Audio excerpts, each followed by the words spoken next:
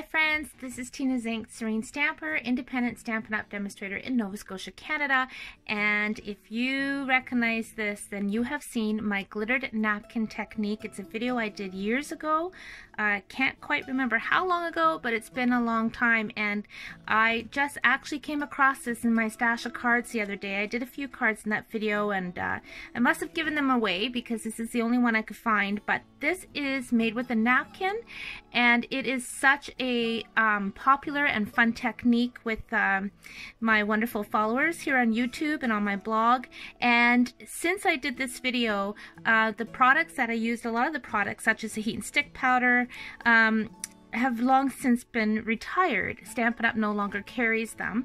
And so I've been asked many times if I would do a new video showing how to get this beautiful glittery look using napkins, um, using what Stampin' Up! Currently offers. So that is what I'm doing today. I'm so excited. I can't wait to show you how you can do this technique using what we have. And if you've never done this technique, brace yourself because you are going to be wowed.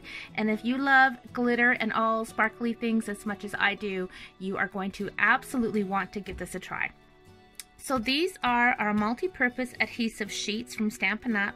They measure 6 inches by 12 inches and you get 12 sheets in a package. So let me show you the napkin that we're going to be using on this card. Isn't this cute, you guys? Oh my goodness, I just loved it. I found this package of napkins in our local grocery store. Um, the napkins that I used on my original cards, I found in our dollar store. And um, it's amazing if you just look around at all the different beautiful patterns and designs that you can find. So what you want to do, I'm actually going to get four cards out of this because there's four images. So what you want to do is peel off those extra layers. Now this one actually has two layers behind this image. So you see there is actually two more layers beneath this one. So you want to make sure you get all those excess layers peeled off of the, um, the design. And now I'm just going to take my scissors and cut one of those images out. Because this is a square image, I'm not going to do a standard five and a half by four and a quarter card. Um, not quite sure what size the card will be yet. We will know when we finish the video. so I have cut that out and to set these aside, use them for another card. I'm not worried about the edges because I will be trimming those out. So I'm just taking my Stampin' Trimmer and I want to measure this, get a rough idea of what it measures. And it is about four and three quarters by four and three quarters. So I'm going to cut this down to four and a half by four and a half. So I'm thinking this may be a square card, which is kind of fun to do something different. Okay, now I'm taking my adhesive sheet and I'm going to cut the same size, four and a half by four and a half. And we need two of those.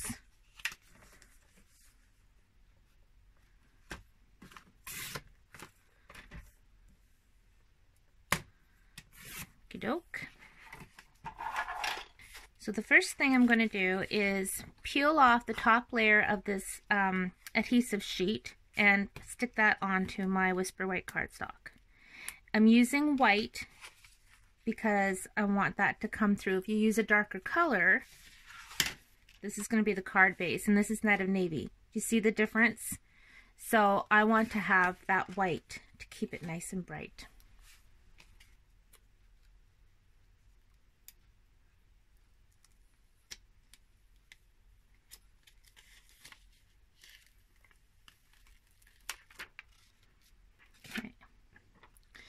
Now I'm just putting this right onto my Whisper White. It's very sticky. And give it a good rub. And this is what we are going to use to put our napkin on. So we're now going to peel off that other layer. Okay, so slowly peeling that off. Now I can see that some of that um, adhesive didn't stick down here, so I'm going to um, put that down on the bottom because I can always trim that up. Okay, so now it's time to put the napkin on. You want to really try to get all those wrinkles out. Give it a really good rub.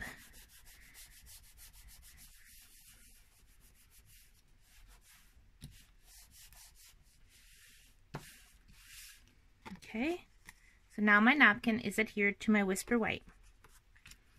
If you use um, a wet glue like our liquid glue, I think it would tear this napkin because it's so, so thin. Um, this adhesive sheet works really, really great. Okay, so now I'm taking my second piece of my adhesive sheet and I'm going to repeat what I just did, but this time it's going to be on top of the printed napkin.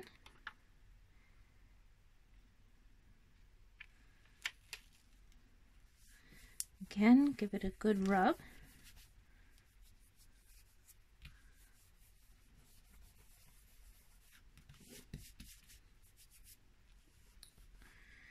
Okay. So I know I'm going to be trimming off a little bit of the design down below and on the side, but that's okay because I've got the antlers in and I've got the sentiment in. Now before I tear off that top layer, I want to trim up those edges. And this is what's going to determine, I think, my card size.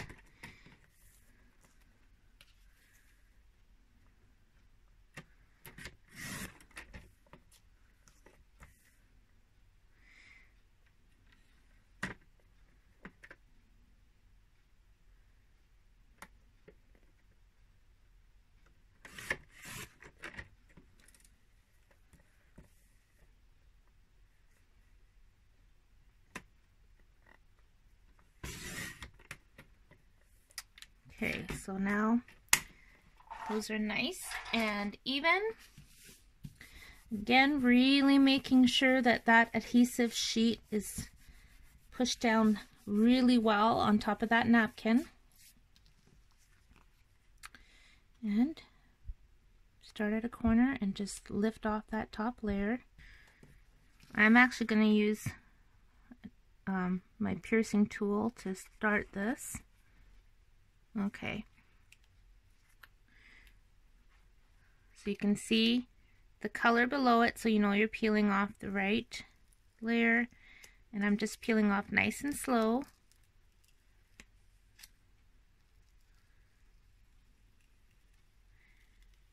And you can see all the adhesive has transferred to the napkin. I cannot wait to get my glitter on this, you guys. So you can see the shine. That's the adhesive. Okay, you guys, let's get some glitter on there. I've got my Dazzling Diamonds. This is Stampin' Up! glitter. In my opinion, it's the best glitter I've ever used. I love it so much. And I'm just sprinkling it on. Oh my gosh.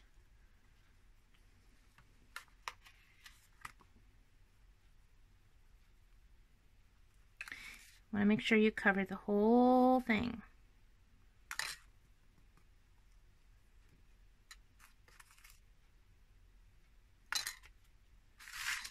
Okay, I'm just taking a piece of computer paper and I'm flipping this over and I'm just uh, really rubbing that glitter into that adhesive.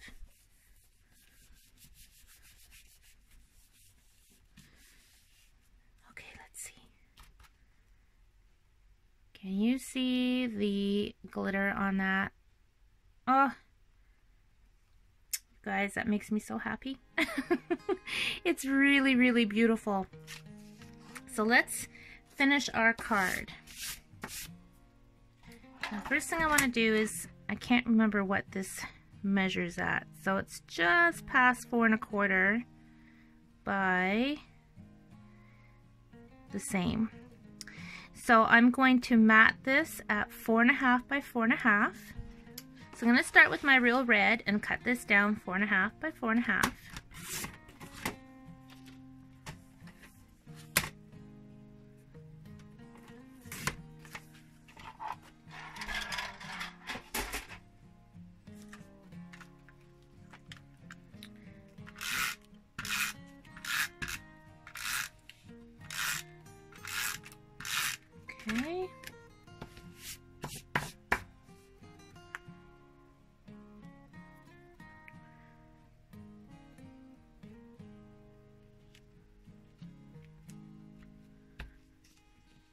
So that looks pretty with the red behind it.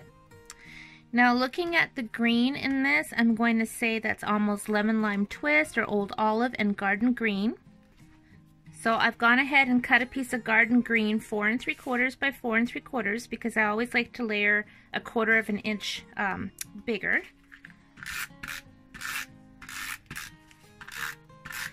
And I was off a little bit on this edge, but that's okay.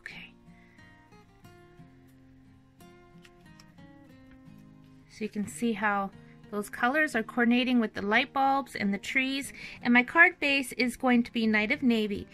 So because this last layer is four and three quarters by four and three quarters, I cut my card base to measure five by 10 so that it will fit on here perfectly.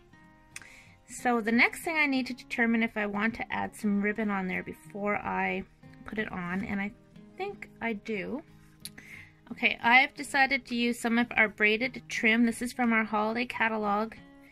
Um, just because I don't want anything too dark to take away from everything else that's going on on this. So I'm just going to uh,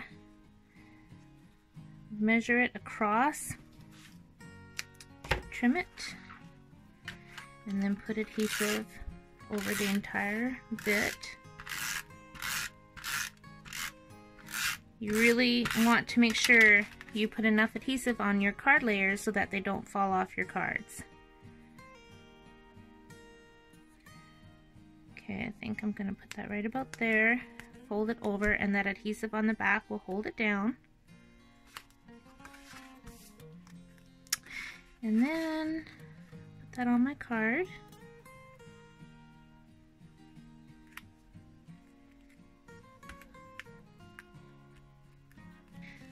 Okay, I want to have a double bow. So what I'm going to do is take this um, trim, wrap it around my two fingers. I'm going to leave a bit of a tail. I'm going to go around twice.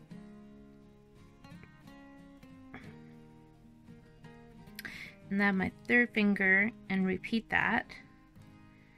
And then hold it in place and trim it. And then cut another piece because I'm going to whoops, fold those down in the center.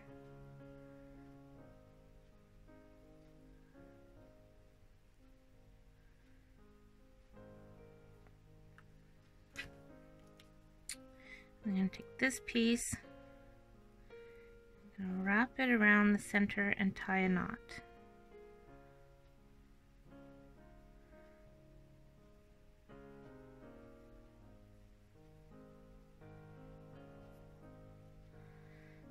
You can see I'm going to have all those extra little loops. I'm just playing with them a little bit.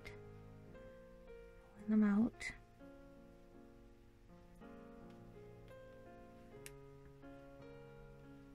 Okay, I'm going to trim that. Trim these ones as well.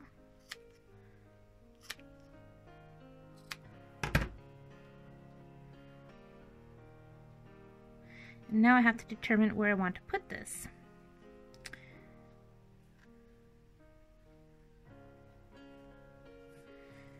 I think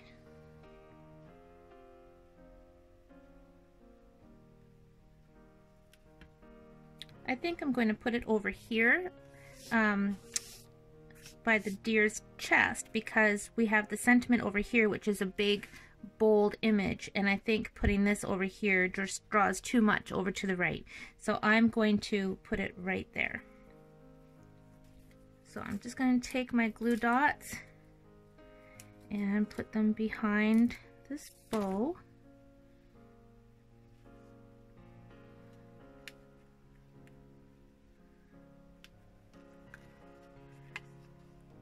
So pretty. I think I want to trim that down a little bit more.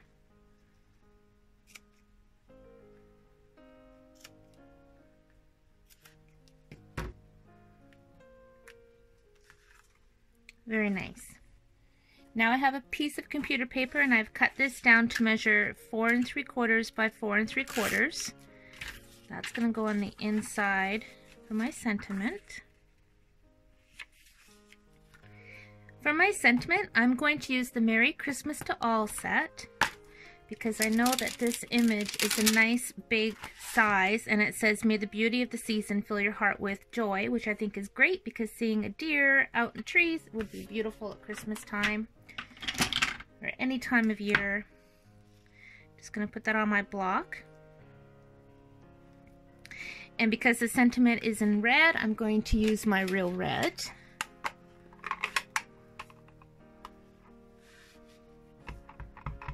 That up really, really well.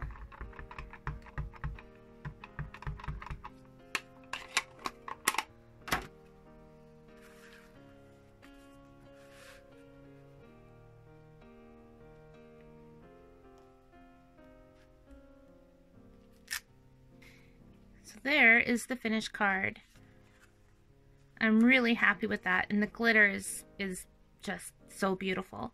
Now, because this is not our standard card size, I'm going to need a coordinating envelope that fits this. So I'm going to show you how to do that.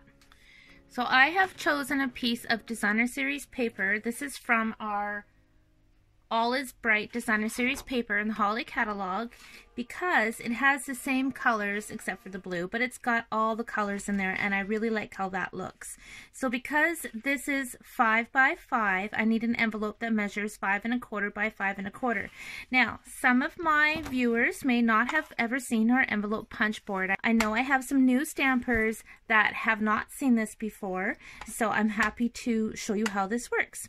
So looking down here on the grid, I am looking for a card that will give me five and a quarter by five and a quarter or thereabouts. Okay, so I see on here I have measurements for five and a half by five and a half. So I'm going to go with that because I'd rather have my envelope a little bit too big than too small. So that means I need a nine by nine piece of paper and the scoring line is going to be at four and a half. So let me cut this to measure nine by nine. I'm just going to open up the arm on my trimmer. Line it up at the 9 mark. This paper is so beautiful. I'm going to have to order some more before it's gone. This is going to be retiring out of our holiday catalog, so uh, those of us who want to get more, we need to get on that because once it's gone, it's gone for good. Okay, so we have a little tool here on the side. I'm going to pull that out. I have my 9 by 9 Designer Series paper and the scoring line is 4.5. So I'm going to line this up at the 4.5 mark and you can see there's a groove here so that's what I'm going to put my tool in. So I'm just going to score it and punch. Then I'm going to turn it 90 degrees and line that score line up with the score guide right here. So line that up, punch it, and score. Turn it around and repeat the same thing.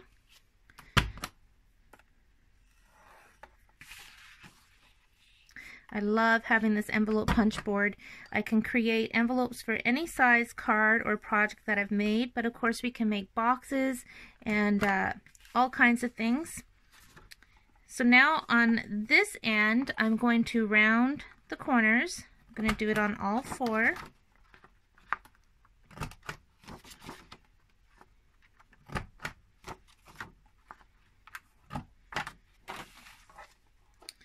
Put that in so I don't lose it. Tuck that aside. So now we are ready to fold. So take my bone folder, I'm just going to fold in on those lines that we've scored.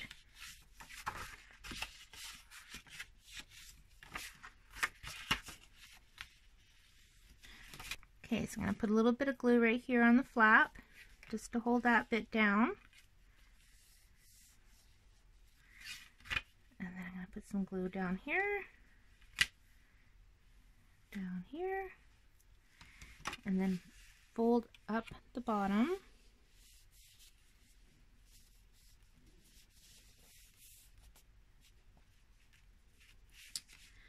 Perfect. And of course, another one of the beautiful things of having our double-sided designer series paper is having that different pattern and uh, color on the inside of the envelope. So now I will just take my card and slide it right in. So I'll show you how I'm going to present this. I'm going to put a special little gift card in this because I am making this for somebody in mind. So their card will have a Christmas gift in it and when I give it to them it's going to have a bow and I will trim that up. Now I'm taking my Night of Navy ink pad and again I'm using the Merry Christmas to All. Stick that on my block.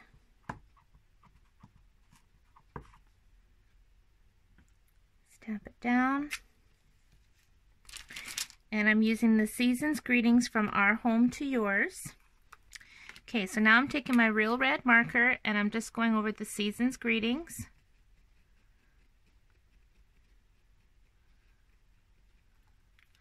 My garden green and I'm going over the uh, bottom line from Our Home to Yours. So this way I'm using the three main colors on that greeting card. I can see I missed a little bit on the top here.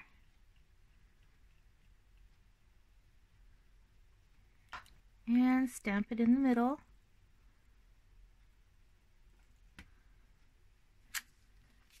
I love how that fits in there perfectly. I've got my Merry Christmas dies, which coordinate with this stamp set. And it lines up perfectly on there. I'll put this on my Big Shot. I've got my magnetic platform. Put my plate on. Run it through.